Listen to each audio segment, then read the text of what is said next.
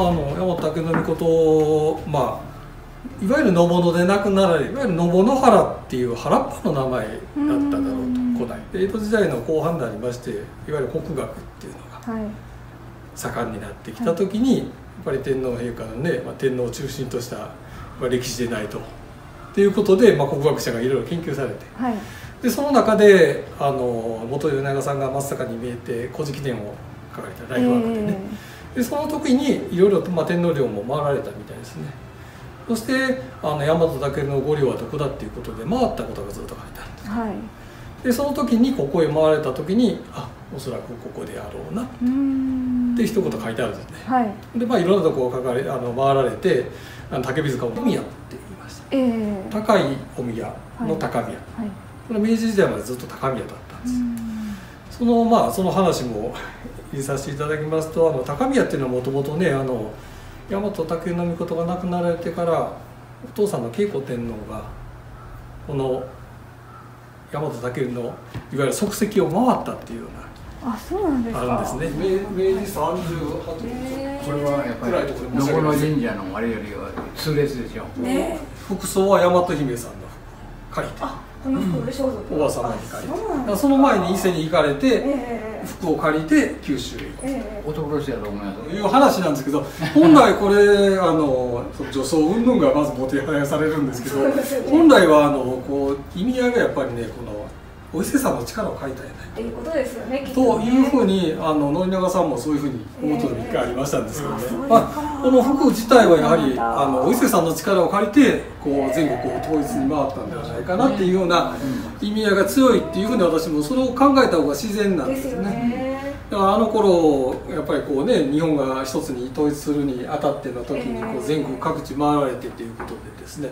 あの九州の小松武退治したっていうこういう場面はやっぱり一番ね、あとはあの音立花姫さんが身を投げたところとか焼津で。よくこれも残ってるんです、だから各神社がこう足跡が残ってるのは本当に多いです、歩かれた方は大体言われます、ね、神社回ると何かが残ってるんです。ねやっぱり残ってるってことは本当ってことですね。何かがなければその古代やっぱり文字がない時から人伝えでその土地に残っていたっていうのは、ね、すごいことだと思います。じゃあ大体のところが東海道の原型になったんだと思いますね東海道の開拓者です、だと思います。けど考古学っていうのはもういわゆるそういうもう実証主義なんで、はい、神さんと関係ないところの話になってるんで、ね、ただずっとこういろいろこう回って見えるこう足跡見たりいろんな跡を見ると何もなければこう残らないそうですよね。千年以上前をご神体としてこういうお祭りしたってまあ、当時白鳥陵の前に祠ができたんですけど、はい、そこにお納めしたのがここの笠戸神社のもともとの起こり。これがでもともと笠戸の社ってこれがもともとの名前だったんですねここの社、はい、いろんな方がこう出雲大社さんで奉納されてその流れでここへもうこういう時代ですんで、はい、うん、だからまあいろんなこと試されてるんじゃないかなと、はい、ね、そうですね。みんなこうコロナでどういうふうに動いたらいいのか本当にすごく如実に出てますよね。思いますよ。その人の本性がすごいこうあぶり出されてるっていうかね、うん、だからもう本当みんなこうねやっぱりあのみんなが本当にこう考えていかなきゃいけないですね。おっしゃる通りだと思います、はい、今日も本当に天気今日は雨でしたね。そうそう晴れてね。本当にね。私も今日はもう昼からもうずっとこれ天気予報では降るし来ていただいてまた回っていただくの難儀だなと思ってたんですけどね。それが全然雨に映らなくて。気持ちがよかったいいそうですはい。自分の気になるところを触ったり自分の良くなってほしいところよく頭がありがとうございます今日はお会いできてよかったです。心も綺麗ですよ神社があってずっとこれ町がこの辺に昔の村ですね。高見山村があったっていうような。ことがねあの書いてあるんですけど、ね、分かりやすいです、ね、当時の鉄斎さんがこう「あの辺りのやな」って書いてくれたりしてるんやけど変なものもあるようで。そう誰かに盗まれたとかね、うん、刀を盗まれた限りで。一応はそういう文化財の担当担当ですもんね。うん、すごい。してはおるんです。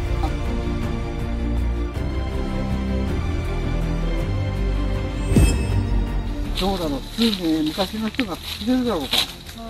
もうあと全然お店は全然ないし、そうですか。はい。えー、だから寂しいですね。あの、もうちょっと、そうそう、あれが5両目、引き詰めてありましてね。で、そこにね、あの、円筒のね、えー、継承埴輪、これを当時の埴輪で、円筒埴輪、これ、これができた。はい。これはその三世特徴的なものなんですね。ええ、だから大和武は、本当に生きていた時代の人だと。間違いがない実証されたということですねね。こちらでね。はい。すごい。方角がこれ、回るのにね、前のこの正面から左へ、いいいいです？はい、はい。ちょっとせっかく来ただから、ま、はい。いい、いいですか、はい、はい。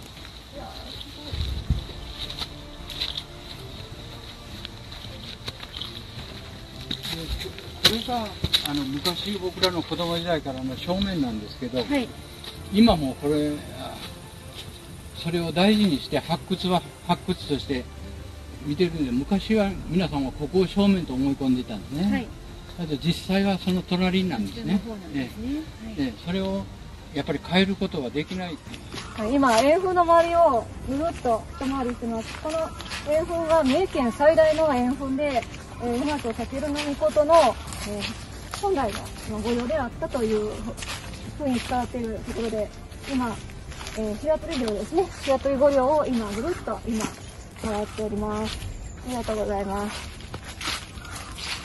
一周、今、ぐるっと、ようやく一周、約5分くらい歩きました？まあ今。ねはい。戻ってきました。最初の出発地点に。はい。一周しました。はい、失礼しました。はいご苦労様でした。ありがとうございます。一周一周でどれだけあるんですか一周でどれだけあるんですか？あのね、全長直径が11メートル。11メートルですか、10メートルぐらいある。え大きいですね。え、なんか県内では一番の円墳だって。いう。っていうことです、まあ、こういうのが残ってるということは、いやいやいや。本当はす数かにもね、ロマンがそうあるあるんですよ。本当にそれを今日は一日ね本当に感じさせていただきました。ね鈴鹿っていうところは本当にね特別な地域だっていうことがよくわかりました。そうですか、ありがとう。はいはいありがとうございます。ロロマンっていうのをね、はい。これはなんか言い続けていきたいと思いますね、花井さん。そうですねぜひぜひ私も今日ね、ね。あの先生からお伺いしたお話をいろんな多くの方々にね。お伝えして、次の世代に絶対に絶やさぬことがないように伝えていきたいと思います。そうですか、はい。ありがとう。ほんで今のね、わ私の新聞、はい。ちょっと目だけ通しておいてください。はい。え、あの、多分宮司さんが説明してくださったようなことを書いてると思いますんで、はい。ぜひあの目を通して、わかりましえ、た。あの、間違ってることもあるかわからないそれがロマンだと思ってますそう。ですね。はいははいい。あの古代史の、古代史をやるっていうのは、非常に、ある意味では楽なんです。んええあの、せななんていうのか、自分の思いが述べられるから。んええそういう意味でね、まあ、宮司さんはだいぶあ勉強してましたね。うんええね丁寧にはい教えてくださって。ええそうですね。あれでなきゃいかないです。うんええまあ、あ、それでね、私、あの、訂正しておきます。はい。あの、宝生塚っていうのは、はいわた私が行ったこの立祭るっていうのは、はい。た立祭るですね。はい。これは、この、この白鳥塚に関する宝生塚なんです。ええこうで、で、向こうの方、今日過ぎ去ってきたのは、はい。あの、宝、宝ってあ、いう。たあっちが宝の。ね、あっちが宝、間違ってました。はい。訂正しておきます。はい。はい。ありがとうござい。ます今日もらったこの、ああれに書い。てありますから、あはい。え宝生塚が。はい。で、それは帰り道、あの、花井さんにまた乗せてい。ただきながら泊まってもらい。ます。わかりましえた。あの、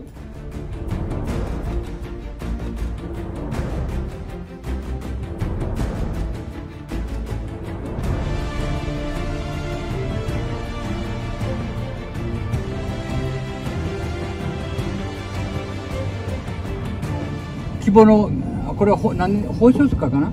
はい。これが宝生塚ですか。章になってる、ええええ次回と衣装の章になってる、あますここへかあの、は山高が身につけたこ衣を埋めた。ここがここに、はいはいはい。ここれが宝生塚ね。でもうちょっと行っていただきましょうか、はいはいあのああ、本当。ここれですね。ああれここう宝になったらね。やっぱりこっちが正しいんだ、ね、これが違ってるのよ。こっちが間違ってる。そうですね。先生が正しいやっぱり。そうですね。やっぱりすごいこれ間違ってるんだよね、ここに冠を。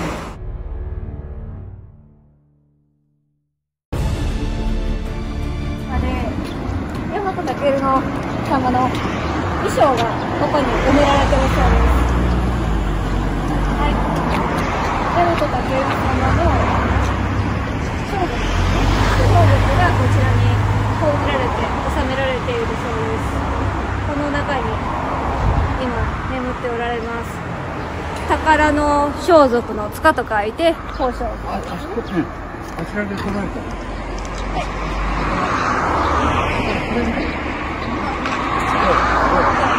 せっかくだから。せっかくだから